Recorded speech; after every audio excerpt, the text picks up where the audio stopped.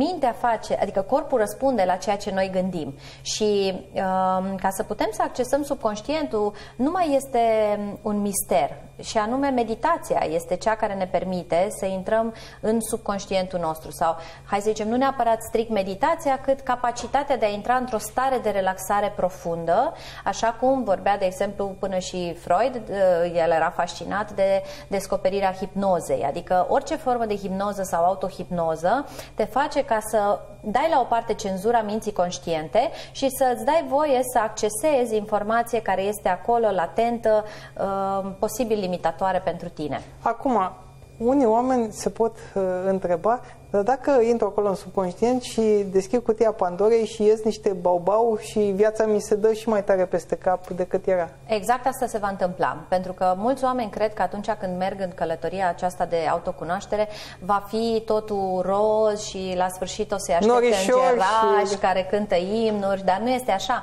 Adică poate că la sfârșit ne așteaptă, dar între timp vom merge prin văi și prin hăuri și prin zone, uh, dar de fapt sunt toate zone familiare prin care ne plimbăm în fiecare seară când stăm cu capul pe pernă și nu putem să dormim din cauza grijilor. Noi trăim un fel de hău, pentru că, dar este un hău emoțional.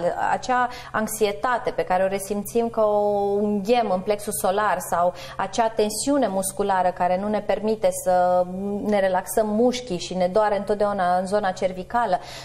Astea sunt prezente, deci nu vei descoperi ceva ce tu nu simți oricum, dar vei descoperi cât de mare este rezervorul tău despre care nu ești conștient. Și ce este interesant este, apropo că ziceam că este pe straturi, um, studiile în psihologia trans, pe, transgenerațională ne arată că nu numai ale tale lecari, lecari și pe ale neamului tău, și pe ale strămoșilor, strămoșilor tăi, deci anumite um, frici, anumite anxietăți, anumite uh, așteptări pe care le ai despre viață și despre suferințe și despre diverse lucruri, poate că sunt de la străbunica ta care nu știu ce-o pățit, da? Era bogată și i s-a luat tata averea, pentru că era femeie și pe vremea nu erau voie ca femeile să fie bogate.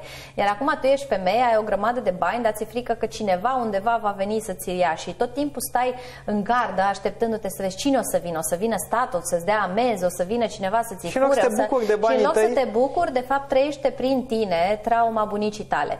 Atunci, astea sunt parte din inconștient și este important să începem să des cojim aceste straturi de ceapă ca să vedem strat cu strat cu strat uh, ce ne împiedică bucuria de viață.